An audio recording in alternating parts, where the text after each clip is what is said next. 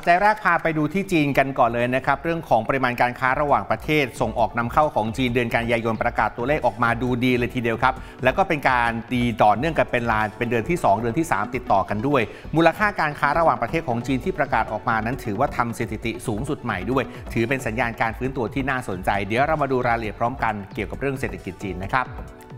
ตัวเลขของการส่งออกที่สำนักงงานศุลกากรทั่วไปของจีนรายงานออกมา คือปริมาณการค้าระหว่างประเทศเดือนกันยายนครับ ตัวเลขรวมอยู่ที่ 3.74 ล้านล้านหยวนหรือประมาณ 18.7 ล้านล้านบาท เป็นการบ่งบอกว่าทั้งการนำเข้าและส่งออกของจีนยังมีเสถียรภาพ และอยู่ในทิศทางขาขึ้นครับ ถึงแม้ว่าสภาพแวดล้อมโดยรวม จะอยู่ในสถานการณ์ที่ไม่ปกติและตลาดปั่นป่วนมากก็ตามครับ อย่างไรก็ตามถ้าเรานับรวมปริมาณการนำเข้าและส่งออกช่วง 3 ไตรมาสแรกของปีนี้ จะพบนะครับว่าในรูปของสกุลเงินหยวนแล้ว มูลค่ามันลดลงมาเล็กน้อยร้อยละ 0.2 เทียบปีต่อปี ลงไปอยู่ 30.8 ล้านล้านหยวนหรือประมาณ 154 ล้านล้านบาทครับ โดยมูลค่าการค้าของจีนกับกลุ่มประเทศตามแผนริเริ่ม 1 1แถบ1 เส้นทางหรือ BRI 3ไตรมาสนั้นรวมกันอยู่ที่ 14.32 ล้านล้านหยวน หรือประมาณ 71.6 ล้านล้านบาท เพิ่มขึ้นมาเทียบปีต่อปีคือร้อยละ 3.1 แล้วก็คิดเป็นสัดส่วนร้อยละ 46.5 ของมูลค่าการค้าระหว่างประเทศทั้งหมดของจีนครับส่วนการค้าของจีนกับกลุ่มตลาดเกิดใหม่ ไม่ว่าจะเป็นเอเชียกลาง อันนี้ขยายตัวได้ถึงร้อยละ 33.7 ส่วนการค้าของจีนกับทางฝั่งสหภาพยุโรป และก็สหรัฐอเมริกา ก็มีพัฒนาการที่ดีขึ้นอย่างชัดเจนเหมือนกันครับ ดูข้อมูลในช่วง 3 ไตรมาสของปีนี้จะพบว่ากลุ่มผู้ประกอบการเอกชนของจีนนั้นมีอัตราการเติบโตที่รวดเร็วครับการนำเข้าและก็ส่งออกเพิ่มขึ้นมาร้อยละ 6.1 มาอยู่ที่ 16.34 ล้านล้านหยวนหรือประมาณ 81.7 ล้านล้านบาท ยังถือว่าครองสัดส่วนมากกว่าครึ่งหนึ่งของการนำเข้าและส่งออกทั้งหมดของประเทศด้วยครับ ข้อมูลของศุลกากรของจีนยังบอกด้วยนะครับว่า การส่งออกผลิตภัณฑ์จักรกลและไฟฟ้าของจีน ซึ่งคิดเป็นสัดส่วนสูงถึงร้อยละ 58.3 ของการส่งออกทั้งหมด เพิ่มขึ้นมาร้อยละ 3.3 ในช่วง 3 ไตรมาสครับ โดยที่มูลค่าการส่งออกยานยนต์และชิ้นส่วนยานยนต์นั้นเพิ่มขึ้นถึงร้อยละ 48.2 จากปีก่อนหน้าครับ แต่ถึงแม้ว่าเศรษฐกิจของจีนตัวเลขล่าสุดออกมาจะดูดี แต่ IMF หรือว่ากองทุนการเงินระหว่างประเทศระบุนะครับว่าการที่เศรษฐกิจจีนยังอยู่ในสถานการณ์ที่ค่อย ๆ ฟื้นตัวกลับมา และโดยเฉพาะอย่างยิ่งปัญหาเรื่องอสังหาริมทรัพย์ของจีนนั้น จะมีผลต่อเนื่องมาถึงเศรษฐกิจภาพรวมของทั้งภาคภูมิภาคเอเชียด้วยครับ กองทุนการเงินระหว่างประเทศออกมาให้มุมมองนะครับว่าเศรษฐกิจจีนที่กลับมาคึกคักอีกครั้งหนึ่งหลังจากผ่านช่วงล็อกดาวน์ตั้งแต่สมัยโควิด -19 นั้น เสียแรงผลักดันเร็วกว่าที่คาดไว้ครับ ส่วนเศรษฐกิจสหรัฐนั้นยังคงขยายตัวได้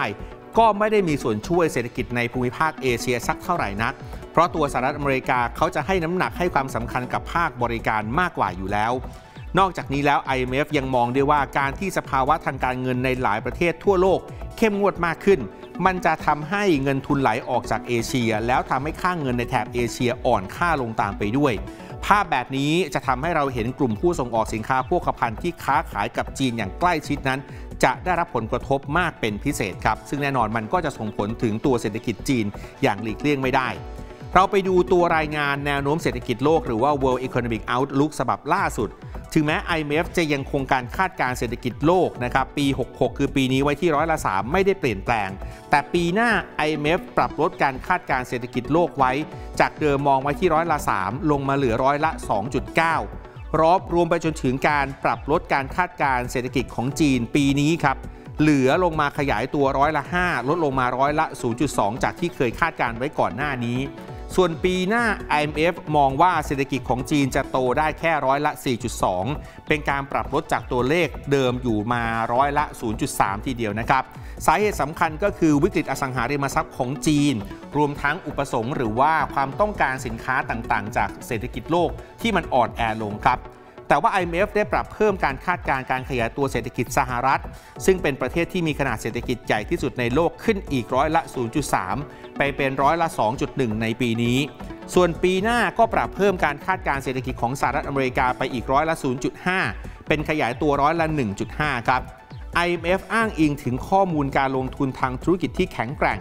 และการบริโภคของสหรัฐที่เพิ่มมากขึ้น ก็จะทำให้เศรษฐกิจสหรัฐนั้นกลายเป็นประเทศที่มีขนาดเศรษฐกิจใหญ่ประเทศเดียว ที่มีเศรษฐกิจขยายตัวสูงกว่าตัวเลขการคาดการณ์ก่อนเกิดสถานการณ์โควิด -19 ครับ ต่อเนื่องกันที่ตัวเลขเศรษฐกิจของสหรัฐอเมริกานะครับ ตัวเลข CPI หรือว่าดัชนีราคาผู้บริโภค วัดเงินเฟ้อทางฝั่งของผู้บริโภคที่ประกาศออกมาเมื่อปลายสัปดาห์ที่แล้วนะครับตัวเลขออกมาขยับสูงขึ้นกว่าที่ตลาดคาดการไว้เล็กน้อย ตลาดจึงตีความกันครับว่า เมื่อตัวเลขเศรษฐกิจตัวเลขเงินเฟ้อสูงกว่าที่คาด มีโอกาสและความเป็นไปได้มากยิ่งขึ้น ที่ตลาดตีความว่าเดือนธันวาคมที่จะมีการประชุมของธนาคารกลางสหรัฐ เราอาจจะเห็นการขยับขึ้นอัตราดอกเบี้ยอีกหนึ่งครั้งก็เป็นไปได้ครับ เริ่มกันที่ตัวเลขเงินเฟ้อตัวเลขสำคัญกันก่อนนะครับ กระทรวงแรงงานของสหรัฐให้ข้อมูลว่าดัชนีราคาผู้บริโภค หรือ CPI ซึ่งเป็นมาตรวัดเงินเฟ้อจากฝั่งการใช้จ่ายของผู้บริโภค ตัวเลขของเดือนกันยายน ปรากฏว่า Headline CPI หรือว่า CPI ทั่วไป อันนี้รวมหมวดอาหารและพลังงาน ปรับตัวเพิ่มขึ้นมาร้อยละ 3.7 เมื่อเทียบรายปี ถือว่าสูงกว่าที่นักวิเคราะห์คาดการไว้ที่ร้อยละ 3.6 นะครับ เทียบรายเดือน CPI ทั่วไปก็ปรับเพิ่มขึ้นมาอยู่ร้อยละ 0.4 สูงกว่าที่นักวิเคราะห์คาดการไว้ว่าจะขยับเพิ่มขึ้นร้อยละ 0.3 ส่วนตัวคอ CPI หรือดัชนี CPI พื้นฐาน ซึ่งไม่นับรวมหมวดอาหารและพลังงาน ปรับตัวเพิ่มขึ้นมาร้อยละ 4.1 เทียบรายปี สอดคล้องกับตัวเลขการคาดการณ์ของนักวิเคราะห์ครับและก็ลดลงจากระดับร้อยละ 4.3 ในเดือนก่อนหน้า ถ้าเทียบรายเดือน CPI พื้นฐานปรับตัวเพิ่มขึ้น ร้อยละ 0.3 ก็ถือว่าสอดคล้องกับตัวเลขการคาดการณ์ของนักวิเคราะห์เช่นเดียวกันครับ ไปดูกันต่อที่ตัวเลขอีกหนึ่งตัวเลขที่สำคัญมากเหมือนกันครับผู้ยื่นขอสวัสดิการว่างงานครั้งแรกทรงตัวครับที่ 29,000 ราย สัปดาห์ที่แล้วนะ ต่ำกว่าตัวเลขการคาดการณ์ของนักวิเคราะห์ที่คาดไว้ 210,000 รายครับ และก็ต่ำกว่าตัวเลข 210,000 รายเป็นสัปดาห์ที่ 4 ติดต่อกันแล้ว ส่วนตัวเลขค่าเฉลี่ย 4 สัปดาห์ของชาวอเมริกันที่ยื่นขอสวัสดิการว่างงานครั้งแรก นี่เป็นมาตรวัดตลาดแรงงานที่ดีกว่า เพราะว่าค่าจัดความผันผวนรายสัปดาห์วัดทีเดียว 4 สัปดาห์ไปเลยนะครับ ตัวเลขลดลง 3,000 รายไปอยู่ที่ 26,250 ราย และหลังจากที่สหรัฐอเมริกาเปิดเผยตัวเลขเงินเฟอ้อที่สูงกว่าที่คาด และตลาดแรงงานที่แข็งแกร่ง นักลงทุนเขาก็เลยตีความกันครับให้น้ำหนักเพิ่มมากขึ้นในการคาดการณ์ที่ว่าธนาคารกลางของสหรัฐจะปรับขึ้นอัตราดอกเบี้ยในเดือนธันวาคม ซึ่งจะเป็นการประชุมนโยบายการเงินครั้งสุดท้ายของปีนี้ครับโดยแฟดเฟดวัตทูของ CME Group บ่งชี้ว่านักลงทุนให้น้ำหนักเพิ่มขึ้น เป็นร้อยละ 35.7 ที่เฟดจะขึ้นดอกเบี้ยร้อยละ 0.25 จากระดับก่อนหน้านี้ ซึ่งก่อนหน้านี้ตลาดตีความให้น้ำหนักไว้แค่ร้อยละ 26.3 เท่านั้นนะครับ เมื่อวันศุกร์ที่ผ่านมาตลาดหุ้นของฝั่งสหรัฐอเมริกามีทั้งบวกและก็ลบนะครับ มีดาวโจนส์ที่บวกขึ้นไปเล็กน้อย ส่วนที่เหลือไม่ว่าจะเป็น S&P หรือว่า NASDAQ ขยับย่อลงมาจากความกังวลเรื่องของสถานการณ์ที่ไม่สงบในตาภูมิภาคตะวันออกกลางนะครับ ในขณะเดียวกันถึงแม้ว่าตัวราคาของหุ้นในกลุ่มสำคัญสำคัญ ไม่ว่าจะเป็นน้ำมันหรือว่าต่างๆ จะขยับปรับเพิ่มขึ้นมา แต่ก็ยังไม่สามารถจะประคับประคองตลาดได้นะครับ ปัจจัยบวกยังพอมีอยู่บ้างจากการที่ผลประกอบการของธนาคารรายใหญ่ในสหรัฐประกาศออกมาดูดี แต่ก็เจอกับสถานการณ์ความกังวลเหตุการณ์ในตะวันออกกลาง บทบังข้อดีไปซะทั้งหมดนะครับมีผลสำรวจจากมหาวิทยาลัยมิชิแกนระบุว่า ดัชนีความเชื่อมั่นผู้บริโภคสหรัฐที่ปรับตัวลงมาอยู่ที่ 63 ในเดือนตุลาคม นี่เป็นระดับต่ำสุด นับตั้งแต่พฤษภาคมครับ ลงมาจาก 68.1 ในเดือนก่อนหน้า และก็ลดลงมากกว่าที่นักวิเคราะห์เขาคาดการณ์กันเอาไว้ด้วย นอกจากนี้ผู้บริโภคยังคาดการณ์ด้วยนะครับว่าเงินเฟอ้อจะเพิ่มขึ้นร้อยละ 3.8 ในช่วง 1 ปีข้างหน้า จากที่เคยอยู่ร้อยละ 3.2 ในการสำรวจเดือนที่แล้ว ข้อมูลบอกด้วยนะครับว่าประชากรเกือบทุกกลุ่มครับมีความเชื่อมั่นลดลง สะท้อนให้เห็นผลกระทบจากเงินเฟอ้อที่ยังคงปรากฏที่ยังคงชัดเจนว่าขยับตัวสูงขึ้นตามรายงานตัวเลขที่เรารายงานไปเมื่อสักครู่นะครับเราย้อนกลับไปดูตัวเลขดาวโจนส์เมื่อวันศุกร์ที่ผ่านมากันหน่อยเป็น 1 ใน 3 ตลาดที่ยังบวกอยู่ได้ แต่ก็เล็กน้อยเท่านั้นครับ บวกอยู่ร้อยละ 0.12 ดาวโจนส์อยู่ปิด 33,670 จุดนะครับ ส่วน S&P 500 ขยับลงมาร้อยละ 0.5 ปิดตลาดไป 4,327 จุด และ NASDAQ ลงไปร้อยละ 1.23 นะครับ ปิดตลาดไป 13,400 กับ 7 จุดด้วยกันครับ ส่วนข้ามไปดูตลาดทางฝั่งยุโรป เราจะพบว่าวันศุกที่ผ่านมาปิดตลาดนั้น ลดลงทั้ง 3 ตลาดหลักๆนะครับเหตุผลหลักๆ ชัดเจนครับ กังวลกับเรื่องของสถานการณ์ที่เกิดขึ้นในตะวันออกกลาง นักลงทุนทั่วโลกก็เลยตัดสินใจเทขายหุ้นออกมา เพื่อเป็นการลดความเสี่ยง จากสถานการณ์ในตะวันออกกลางที่ดูว่ามีความเสี่ยงจะรุนแรงมากขึ้นถึงแม้ว่าหุ้นในกลุ่มน้ำมัน และกลุ่มก๊าซในฝั่งยุโรปจะพุ่งขึ้นไปแตะระดับสูงสุดในรอบ 9 ปี เพราะราคาน้ำมันที่สูงขึ้น แต่อย่างที่บอกไปครับว่าพอราคาน้ำมันขยับสูงขึ้น ความวิตกกังวลเกี่ยวกับเงินเฟอ้อก็กลับขึ้นมาอีกครั้ง มันก็เลยส่งผลกระทบต่อตลาดหุ้นในวงกว้าง สุดท้ายแล้วฟุตซี่ร้อยของลอนดอนเมื่อวันศุกร์ที่ผ่านมา ลดลงไปร้อยละ 0.59 หรือ 45 จุดนะครับ ปิด 7,599 จุด CAC 40 ของฝรั่งเศสลดลงไป 1.42%ครับประมาณ 101 จุด ตลาดปิดไป 7,003.53 จุด และ DAX ของเยอรมนีครับ 15,186 จุด ลงมาถึงร้อยละ 1.55 หรือ 238 จุดนะครับแน่นอนสถานการณ์ที่เกิดขึ้นในตะวันออกกลางมีผลต่อราคาน้ำมันครับ ทั้ง WTI และ Brent ขยับพุ่งขึ้นมาอย่างร้อนแรงเลยทีเดียวนะครับ ความกังวลว่าความขัดแย้งในตะวันออกกลางจะขยายวงกว้างมากขึ้น เพราะว่าเมื่อวันศุกร์ที่ผ่านมาตามข่าวที่เราเห็นเลยครับ อิสราเอลประกาศโจมตีภาคพื้นดินในฉนวนกาซา นักลงทุนก็กังวลทันทีว่าถ้าสงครามขยายวงกว้าง จะส่งผลกระทบต่อการผลิตน้ำมันของประเทศในตะวันออกกลางครับ ทางจาวัดอูซี รัฐมนตรีกระทรวงน้ำมันของอิหร่านให้ข้อมูลเมื่อวันศุกร์ว่า ราคาน้ำมันมีความเป็นไปได้จะพุ่งขึ้นไปถึง 100 ดอลลาร์ต่อบาร์เรล เพราะสถานการณ์ที่เกิดขึ้นในปัจจุบันของตะวันออกกลางครับ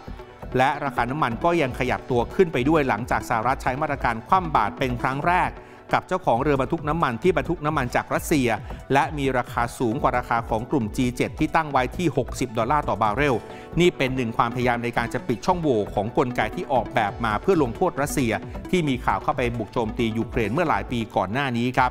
เราเห็น WTI ส่งมอบเดือนพฤศจิกายนพุ่งขึ้นไปอีก 4 เหรียญ 78 เซนต์หรือร้อยละ 5.8 ปิดอยู่ 87 เหรียญ 69 เซนต์ ส่วนเบรนท์ยืนเหนือ 90 ดอลลาร์ไปแล้วนะครับ ราคาส่งมอบเดือนธันวาคมพุ่งขึ้นไป 4 เหรียญ 89 เซนหรือร้อยละ 5.7 ไปปิดอยู่ 90 เหรียญ 89 เซนต่อบาร์เรล ในขณะที่ดูไบครับบวกขึ้นไปอีก1ประมาณเหรียญ 17 เซนราคาอยู่ 88 เหรียญ 78 เซนต่อบาร์เรล ใกล้ 90 เหรียญเข้าไปเช่นกันทุกทีนะครับ ส่วนทองคำแน่นอนว่าอยู่ในสถานการณ์ใกล้เคียงกันมากครับ ในฐานะสินทรัพย์ปลอดภัยทำให้ทองคำยังมีแรงเข้าซื้อจากนักลงทุน เพราะความกังวลจากสถานการณ์ที่เกิดขึ้นในตะวันออกกลางครับ สัญญาทองคำที่ตลาดนิวยอร์กปิดเพิ่มขึ้นอย่างร้อนแรงในการซื้อขายเมื่อวันศุกร์วันเดียวเกือบเกือบ 60 ดอลลาร์นะครับท่ามกลางความวิตกกังวล เกี่ยวกับภาวะสงครามที่อาจจะลุกลามในตะวันออกกลางหลังจากอิสราเอลเตรียมการโจมตีภาคพื้นดินเพื่อตอบโต้กับกลุ่มฮามาสที่เปิดฉากบุกโจมตีอิสราเอลไปก่อนในสัปดาห์ที่ผ่านมา แล้วการเปิดเผยข้อมูลเศรษฐกิจที่ซบเซาของสหรัฐก็เป็นอีกหนึ่งปัจจัยที่ทำให้ราคาทองคำดีดตัวขึ้นไปด้วยครับ COMEX ส่งมอบเดือนธันวาคมพุ่งขึ้นไปถึง 58 เหรียญ 50 เซนต์ต่อออนซ์นะครับ หรือขึ้นไปถึงร้อยละ 3.11 ไปปิดอยู่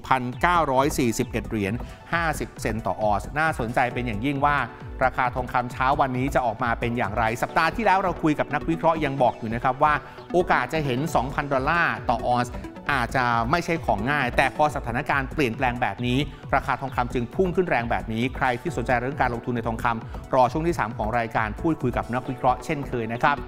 เรามาดูเช้าวันนี้กันเลยคุณผู้ชมครับ ไปดูตลาดหุ้นในแถบเอเชียกันหน่อย น่าจะเป็นสัญญาณได้เป็นอย่างดีว่าเป็นยังไงบ้าง ขยับร่วงลงทุกตลาดนะครับนิเกอีของญี่ปุ่นลงไปร้อยละ 1.71 เยอะที่สุดนะครับหังเซ็งของฮ่องกงลงไปร้อยละ 0.25 นะตอนเปิดตลาดเซี่ยงไฮ้ของจีนย่อลงไปร้อยละ 0.49 KOSPI เกาหลีใต้ลงไปร้อยละ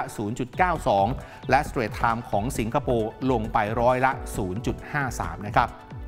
ขอบคุณที่ติดตามรับชมรายการ TNN ชั่วโมงทำเงินนะครับ คุณผู้ชมอย่าลืมกด Subscribe กดไลค์กดแชร์กดกระดิ่งในทุก ๆ ช่องทางออนไลน์ของ TNN ช่อง 16 ด้วยนะครับ จะได้ไม่พลาดทั้งรายการสด และก็คลิปวิดีโอต่างๆ ที่น่าสนใจอีกมากมายครับ